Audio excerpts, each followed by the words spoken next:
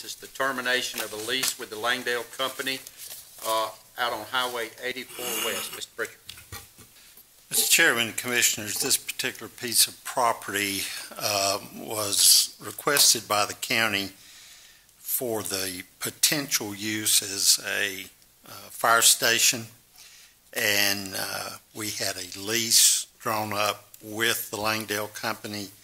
Plans have not uh, come to fruition as far as the development of that property, and the Langdale Company has asked that that property be, um, that the lease be canceled and returned to them.